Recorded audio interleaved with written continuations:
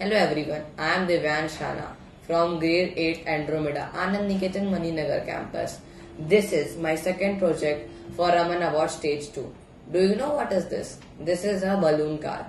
It works on the principle of Newton's third law of motion, which was given by Sir Isaac Newton. It states that every action has an equal and opposite reaction. In simple words, when object A exerts force on object B, then object B will exert equal and opposite force on object A. Now I will show you how I made this balloon car. I made it using two wooden sticks, four plastic bottle caps, one balloon, one straw and a plastic bottle. Firstly, I made the wheels using wooden sticks and plastic caps. Then I made Uh, join the balloon with the straw using a sellotape.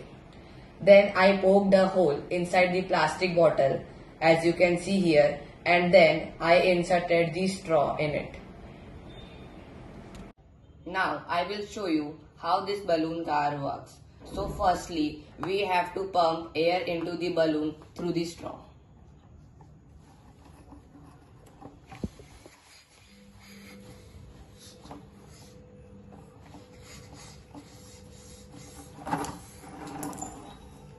As you have seen, when I removed my hand from the straw, the balloon car started moving. Now you may wonder why that happened. It happened due to the Newton's third law of motion.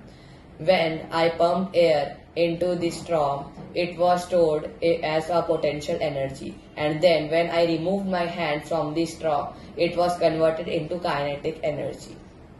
I hope you learned something new from this. Thank you.